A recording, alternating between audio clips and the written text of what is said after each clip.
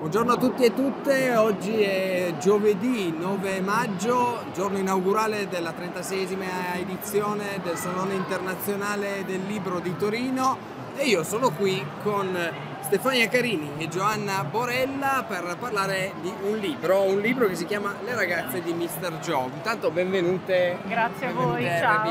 Grazie mille.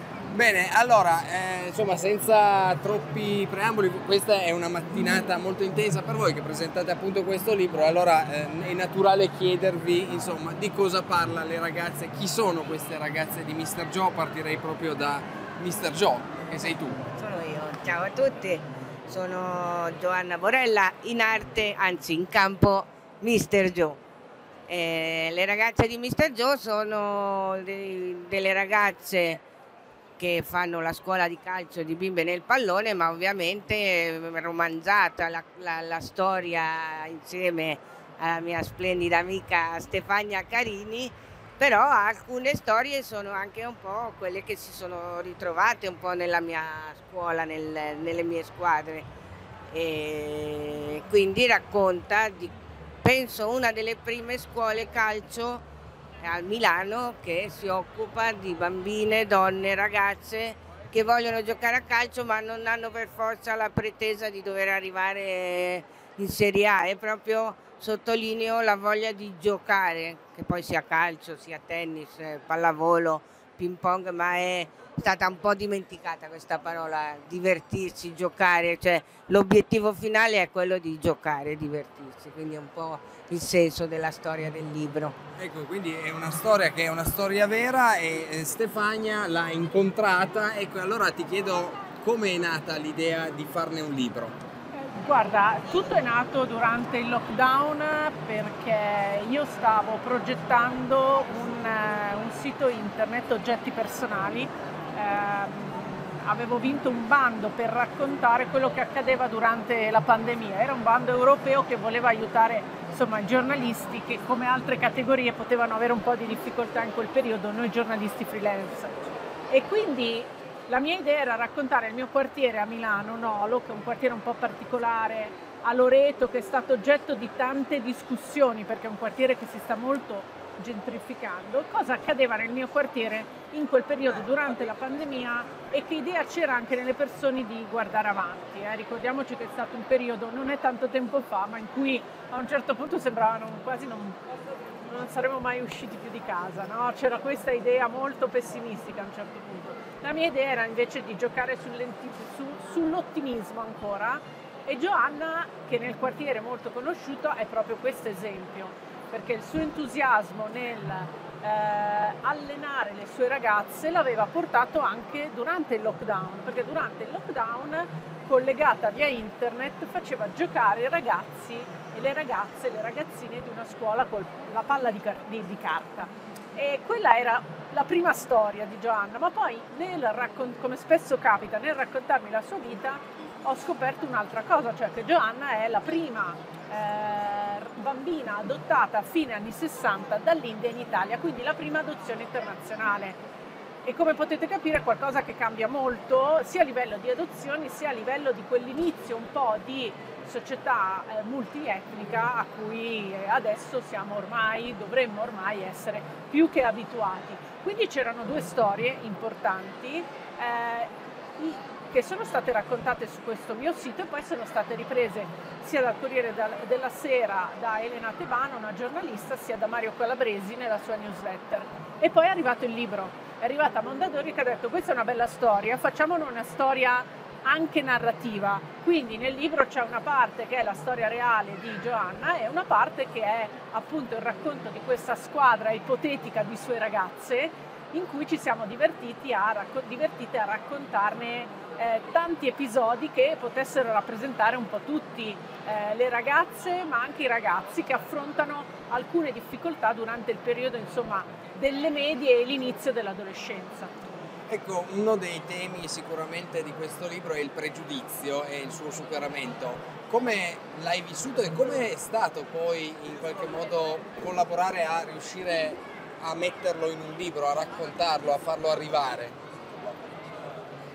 Eh sì, il pregiudizio è proprio che io ho sempre giocato fin da bambina alle elementari e quindi era sempre stato un effetto doppio, bambina di colore e che gioca a calcio, quindi l'ho portato avanti sempre proprio per una mia passione, un po' come dice anche Stefania, una sfida, perché subito venivi guardata in un certo modo se giocavi a calcio, che in quel periodo non c'era davvero nessuno. Fino all'età dei miei 40 anni ho trovato poi tre amiche che giocavano, non è che ho trovato lo squadrone subito. E, e questo era proprio il fatto anche di togliere questa idea che le ragazze non possono giocare. Giocare, usiamo il modo di giocare, perché poi trovano il modo di dire che non puoi giocare a basket perché è troppo maschilista o non puoi giocare, cioè ci trova sempre il modo perché la donna, la ragazza non può giocare. Allora la mia idea è detto quella di dire, vabbè, eh, so, sto crescendo, eh, qualcuno poi mi verrà a dire guarda che ormai hai una certa, non puoi più giocare, divertiti finché vuoi.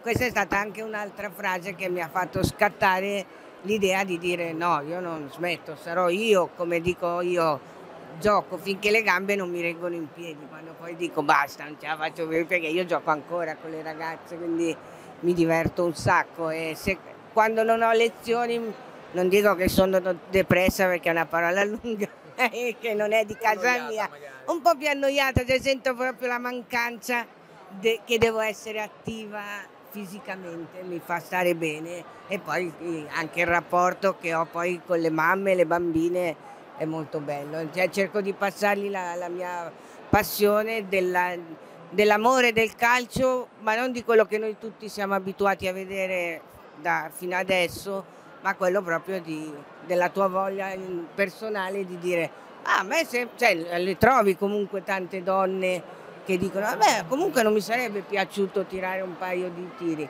e nessuno gli ha mai fatto questa domanda, quindi io sono qui anche per quello, dico fate la domanda anche alle vostre mamme che vi portano quintali di borse, le lavano, se magari hanno voglia di fare due tiri che sarebbe bello farlo anche con le mamme. Ecco. Certo, certo.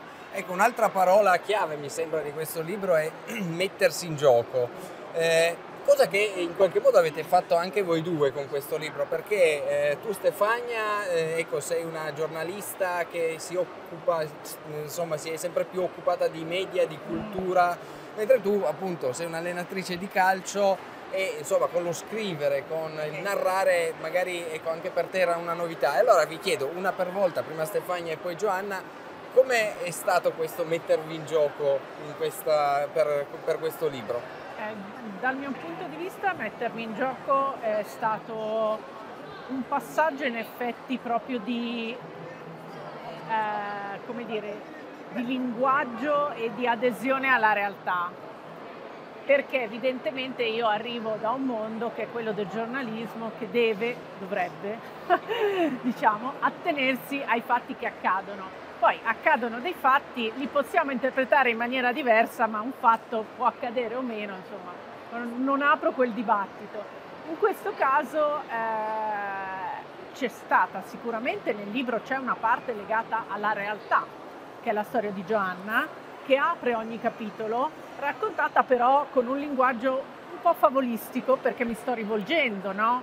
ai, ehm, a lettori e lettrici ragazzini, ragazzine e poi anche perché la stessa Giovanna ha un modo, no? Nel, quando mi raccontava la sua storia durante le interviste, ha questo tono un po' favolistico e in fondo la sua è anche una bella favola. No?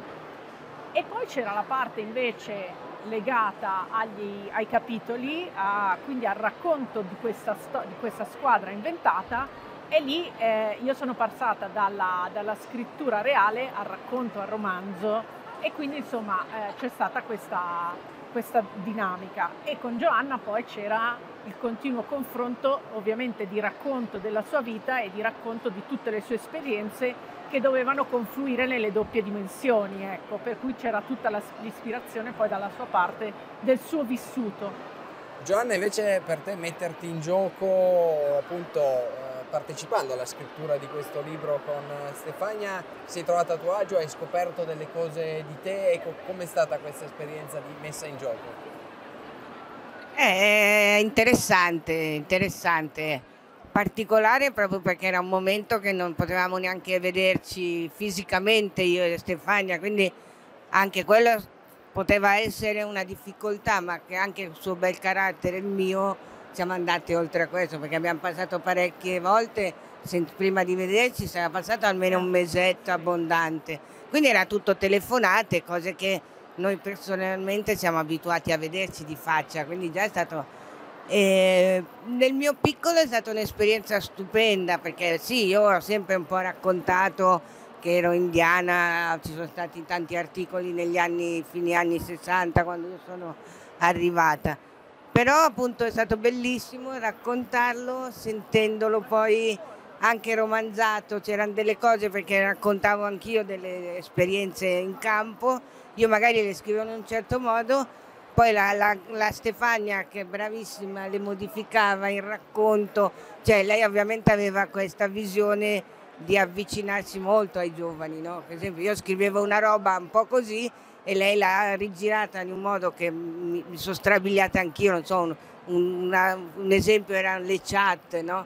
Io so che, perché anch'io stessa ho le chat con le ragazze, ma non avrei mai pensato a un dialogo di chat e lì ha funzionato benissimo, è stato bellissimo, perché lei è, è anche una persona che mantiene quello che tu gli racconti, tante volte ti capita, tu dici no, una cosa e, e quell'altro va da un'altra parte, invece ha mantenuto le cose che io raccontavo, ma in una maniera che le ragazzine, ed è così stata la risposta, di, le, le ha colpite, invece magari anch'io le potevo colpire, ma mancava quel frizz che lei ci ha messo in diverse frizz cose. Piace, sono e, quindi insomma un bel gioco di squadra anche in questo eh, caso. Eh, vorrei concludere, ecco, siamo qui alla Salone del Libro, questa mattina ho sentito anche una parte della vostra presentazione piena di eh, ragazzi molto giovani e allora vi chiedo a tutte e due eh, Com'è stata l'esperienza del riscontro? Credo che non sia la prima volta che andate a parlare del vostro libro davanti a un pubblico giovane. Eh, quali domande vi hanno colpito di più dei ragazzini e qual è un po' la loro reazione di fronte al racconto delle ragazze di Mr. Joe? Guarda, una delle cose che, allora, quello che colpisce è evidentemente la passione che c'è a quell'età, al di là del nostro libro in generale, a me capita anche di andare a fare lezione nelle scuole e vedi che se inizi a parlargli di loro passioni, poi magari non è il calcio in quel momento, passi al nuoto, c'è una reazione perché tutti noi siamo, come dire, interessati a raccontare quello che ci piace. E quindi da lì parte un certo tipo di, di racconto per tutti loro. E l'altra dimensione che è molto piacevole è quella anche di un affetto verso il libro, verso Joe, verso di noi, verso i personaggi, tant'è che spesso ci portano i disegni, che è una delle cose più belle che mi è capitata, di avere i disegni dei ragazzi. E la cosa bella è che quando sono più piccoli è un disegno fatto a mano. Ultimamente abbiamo fatto una, un incontro con ragazzi un po' più grandi e ci hanno portato le ragazze fatte con l'intelligenza artificiale. E però anche questo dimostra, come dire, quanto quel mondo lì sia vario, vivo, vivace, frizz e forse bisognerebbe insomma lavorarci ancora di più perché è proprio reattivo in una, in una maniera che poi spesso ecco, dopo un po', dopo una certa età non lo sei più. Bene, allora ecco, faccio a te la stessa domanda, quali sono le cose che ti hanno più emozionato nell'incontrare i, i, i vostri lettori? È bello proprio questo riscontro immediato, un po' come diceva Stefania, che si sentono, li vedi che vivono ognuno nella sua storia. Poi come ho avuto anche riscontro un po' con le mie giocatrici che arrivavano e dicevano ma io, io sono Claudia, Dicevo, tu puoi essere chi vuoi, puoi prendere un pezzettino di Claudia, puoi prendere un pezzettino di Giulia, quindi il bello di questo libro è anche che ognuna, o magari qualcuna non si identifica e mi dice mister, mister, ma io dove sono? Ecco, eh, leggiti il libro, magari vedrai che anche un pezzettino lo trovi quindi no, la risposta, de... infatti abbiamo anche vinto il premio Gianni Mura, grazie anche penso a gran parte di ragazze, ragazzini, studenti. Il premio viene assegnato proprio dai lettori. Quindi esatto, caso... quindi è, è, stata anche questa una risposta bellissima, poi per me è il mio primo libro, quindi... Le ragazze di Mr. Joe, edito da Mondadori, lo trovate credo in tutte le librerie e quindi insomma per eh, farvi raccontare una bella storia. Grazie. Grazie, grazie, grazie davvero. Grazie a tutti. Buona lettura.